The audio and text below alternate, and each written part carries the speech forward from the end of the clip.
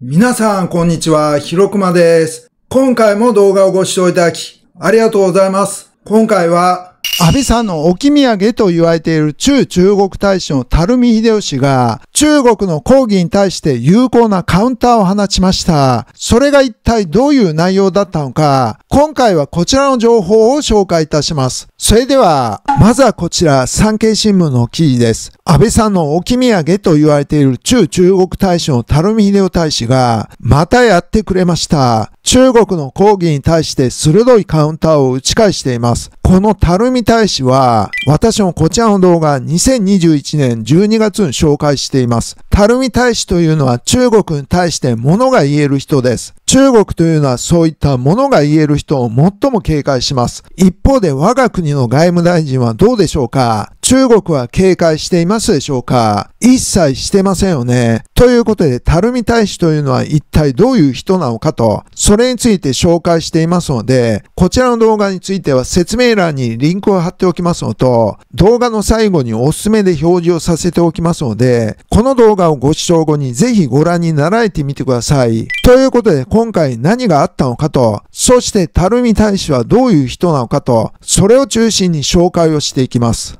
中国日本大使を呼び出し抗議、G7 の核増強懸念にも反発と、G7 は核のない世界を謳ったんですが、核の増強を懸念しているそうです。中国の孫外務次官は21日、日本の垂水秀夫中中国大使を呼び出し、先進7カ国首脳会議 G7 広島サミットが中国に関する問題を取り上げたことに対し厳正な申し入れを行ったと発表しました。そして国際会議の議長国の中中国大使を呼び出し抗議するのは異例とみられます。まあ、いつも異例なことをやってきますよね。そして孫氏は、日本は G7 議長国として関係国とグルになって中国を中傷攻撃し、中国の内政に粗暴に干渉したと非難。まあですね、被害者ポジションを取っているのが笑えますよね。そしてサミットの首脳声明が平和と安定の重要性を再確認すると表明した台湾問題について中国の革新的利益の中の革新であり中日関係の政治的な基礎に関わる超えてはならないレッドラインだと主張したとこの中国の抗議については後ほど詳しく説明します。さらに東南シナ海香港新疆ウイグル自治区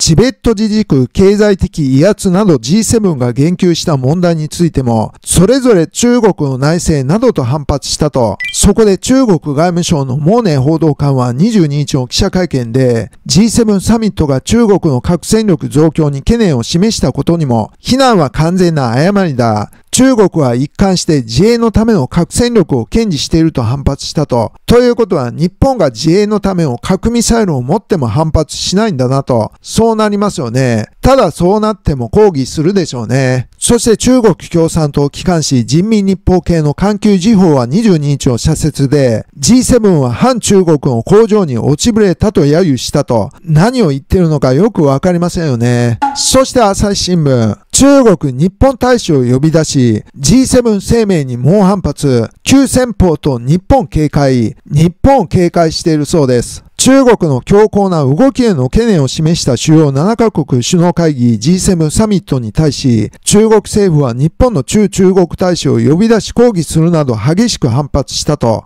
米洋の連帯が東アジアに及ぶのを嫌う中国は、日本がその急先鋒になりかねないと警戒を強めており、今後も対日牽制が続きそうだと。つまり G7 がやったことが効いていますよと。日本の中中国大使を呼び出して抗議したと。としかも激しく反発したと。これはもう G7 がやったことが効いたという表れです。G7 の評価については私のこちらの動画で詳しく説明しています。こちらも説明欄にリンクを貼っておきますのと動画の最後におすすめで表示をさせておきます。私は岸田首相がやった今回の G7 については最大限に評価をしています。しかし今までは岸田政権を批判しています。そしてこれからも是々非々で評価をしていきます。増税反対ですし LGBT 法案も反対です。これが是々非々なんですよね。今後も岸田政権がおかしなことをやったら批判をしていきます。岸田外交を絶賛するのは見たくないと。つまり G7 の評価はしたくないと、そういう人もいるんでしょうね。しかしあくまでも是々非々です。日本にとってこの政権はいいことをするのかどうか、それを評価していかないといけません。しかし残念ながら今まで安倍政権もそうだったように、消費税は2回上げてますし、習近平を来日させようとしたと、そういう側面もあります。なので完璧な総理大臣というのは今までいないんですよね。しかし世論の声によって少しでもそういう総理大臣ができるようにしないといけませんよね。なので私は声を上げ続けていきます。そしていつも言っているように、脊髄反射をせずに白深くなりましょうと。それができるとゼゼヒの判断もできるようになります。そしてこちらメイノート。ツイッターで有名なメイさんのサイトです。このサイトというのは、事実に基づく報道を取り上げ、エビデンスとともに日本のメディアが報道していない世界の状況について皆様と学び考え、そして成長していくことを目的としていますと、そして米国報道、中国報道、欧州の報道など、そういったものを紹介されています。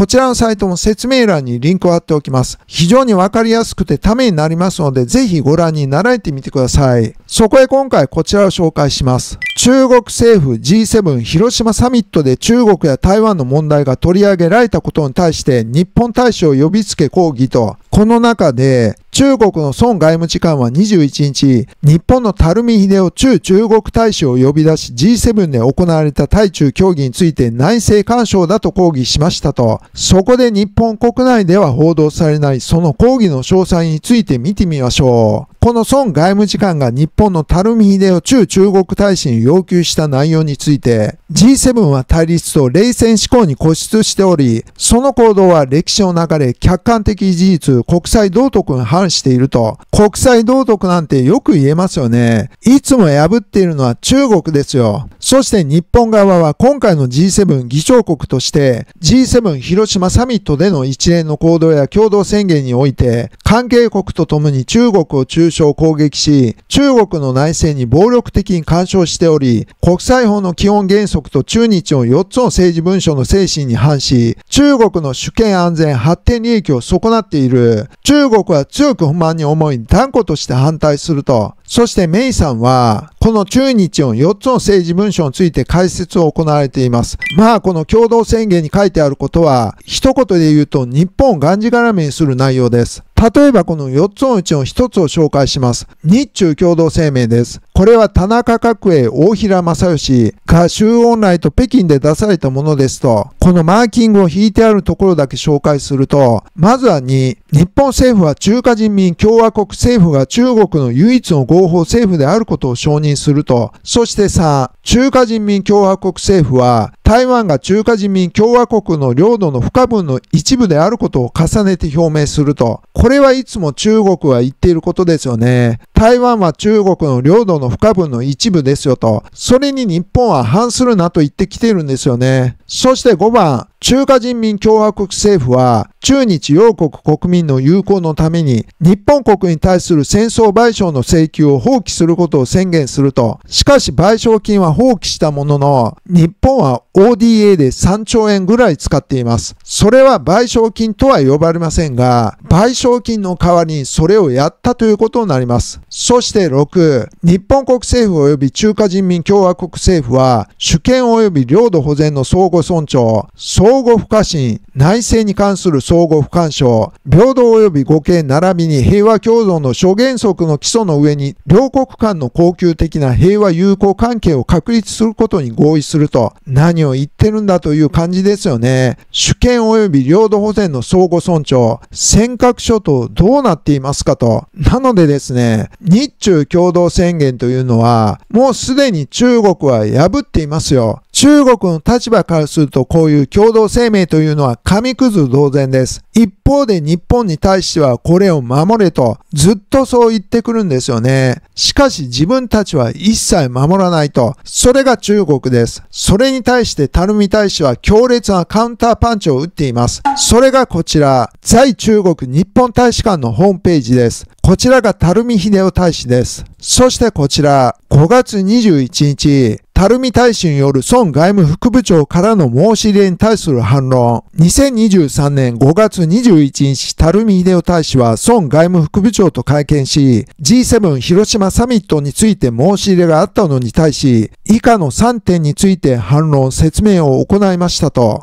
まず1、G7 広島首脳コミュニケに示された中国に対する諸課題、東シナ海、南シナ海、台湾人権、経済的威圧等について、我が国を含む G7 の立場は同コミュニケに示された通りであり、かかる立場が表明されたのには理由があると。つまりお前らが悪いんだろうと。東シナ海、南シナ海、台湾で何をやってるんだと。そしてウイグル、チベット、南モンゴルの人権問題。さらに一帯一路でお金が払えなくなった国に対して経済的威圧をしているだろうと。それは中国に対して問題があるからだろうと。それをはっきり言っています。そして2番。中国が行動を改めない限り、これまで同様に G7 として共通の懸念事項に言及するのは当然のことであり、将来も変わらないであろう。ビシッと言ってますね。それは当然だろうと。このまま行ったら将来も変わることはないぞと、はっきり言っています。そして3番、こうした懸念事項に言及しないことを求めるのであれば、まずは中国側が前向きな対応を行うべきであると、まずやるのはお前たちからだろと、それをはっきり言っています。この3番はどういうことかというと、中国はメンツ文化なんですよ。今回 G7 の声明で、習近平の顔に泥が塗られたと。なのでこの外交副部長は、絶対抗議をしないといけないんですよ。そうしないと自分は出世できないと。なのでこの垂水大使をわざわざ呼び出して抗議をしたと。これはですね、抗議をすることが目的ではなく、自分の出世が目的なんですよね。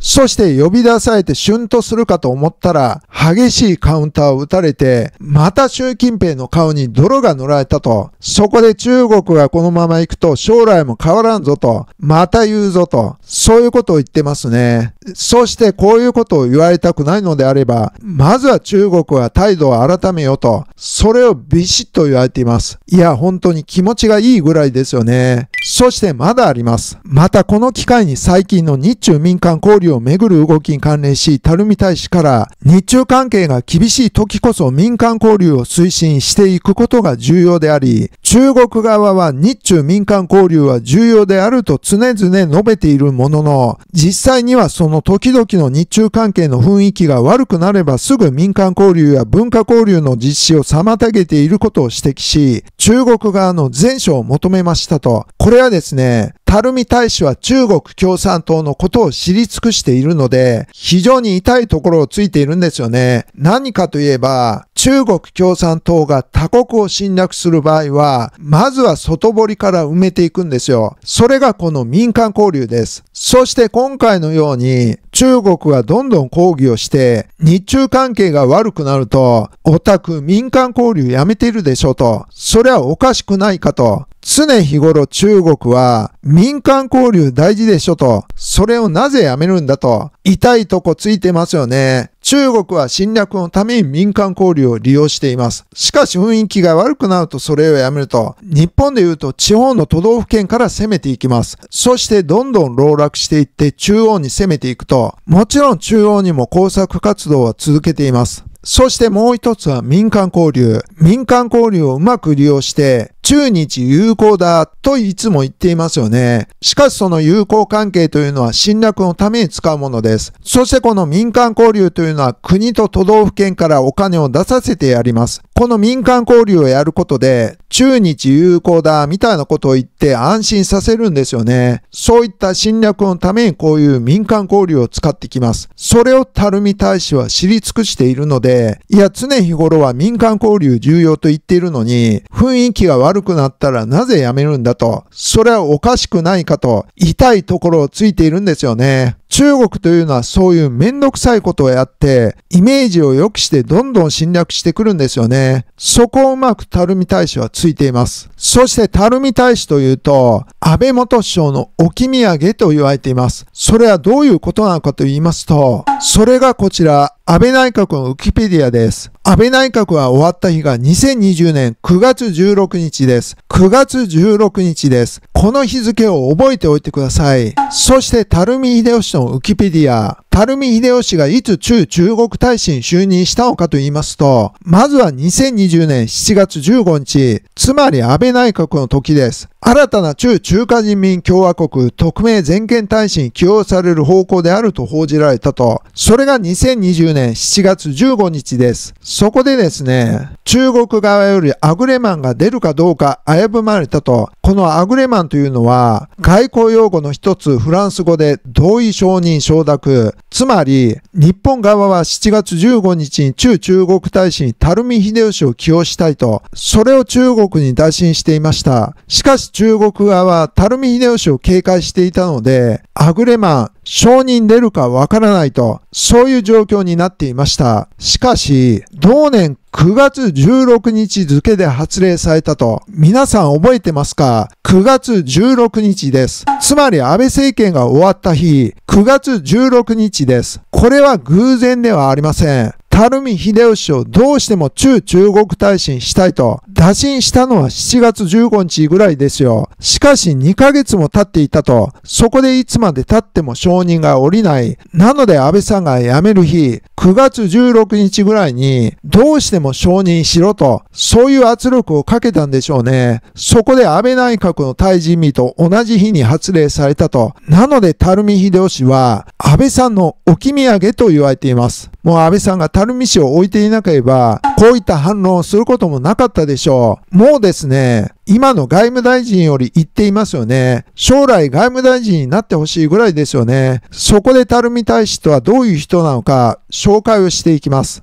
垂水秀吉は1961年5月23日生まれで現在61歳です。偶然ですが今日誕生日ですね。おめでとうございます。外務省では中国研修を受けたいわゆるチャイナスクールです。しかし中国共産党に独自の人脈を築いていると評されて、一方いわゆるチャイナスクールにしては異例の対中強硬派と見られていると、垂水大社は私も過去の動画でも紹介しましたが、中国人とよくお酒を飲むんですよね。そうなると普通はいろいろなトラップにかけられて取り込まれるんですが、この人はそうではないんですよ。だから強硬派なんですよね。そして強硬派であればあるほど、中国人は敬意を持つんですよね。それが垂水秀吉です。そして外交官としての海外勤務は中国、香港、台湾の中華圏だけであることは、キャリア組としては極めて異例だととりわけ2度にわたる台湾勤務は日体断交後は初めてのケースだと、台湾に勤務もしていたと、それも警戒される要因でしょうね。そして2006年の第一次安倍政権発足時に、八翔太郎事務次官のもと、日中戦略的互恵関係の新構想の構築に深く関わったと言われていると、このですね、戦略的互恵関係の言葉を作ったのがまさしく垂水氏です。これは過去の動画で説明をしています。さらに、2008年中国モンゴル課長に就任する直前、人民日報傘下の環球時報は垂水をスパイと名指しするなど異例の経歴を踏んでいると、スパイ扱いされているんですよ。なのでなかなか承認が下りなかったのではと思われます。そして2010年9月、カンナウト内閣時の尖閣諸島中国漁船衝突事件の際には、怒鳴りまくる菅首相に対し、当時中国モンゴル課長だった垂水は、これは民主党政権の対中弱腰外交が招いた事態だと直言したと。すごいですよね。怒鳴りまくっているカンナウトに対して、その時に、これは民主党政権の対中弱腰外交のせいだと、怒鳴りまくるカンナウトに言ったと。すごい人ですよね。おそらくカンナウトは、役人が偉そうに言うなと、そういう類のことを言いそうですよね。また在中国日本大使館で政務公務を務めていた2013年9月に、忽然と姿を消してしまい、東京の本省に舞い戻ったが、これは中国側よりスパイ活動を警戒され、外務省が急いで本国に戻したがゆえの失踪劇だったと指摘されていると、そういう方なんですよ。なのでなかなか承認が下りなかったというのもわかりますよね。それほど中国は警戒しているという人です。非常に頼りになりますよね。ということで、安倍さんが残した置き土産、垂水秀夫大使、こういう気骨のある人が中国にいます。もう垂水大使に外務大臣やってもらいたいぐらいですよね。なので皆さん、垂水大使のことを知っていただいて、台湾有事が起こった時は、中国にいる日本人は全員人質になります。その時に中国に対して物が言える垂水大使がいると非常に安心ですよね。なので皆さん今後も安倍さんの置き土産である垂水大使に注目をして応援をしていきましょう。またこういった情報がありましたら動画をアップしていきますので、よろしければチャンネル登録と通知ボタン、そして高評価とコメント、Twitter のフォロー、またこのチャンネルを応援してくださる方はメンバーシップの登録もよろしくお願いいたします。それではまた次回の動画でお会いしましょう。ありがとうございました。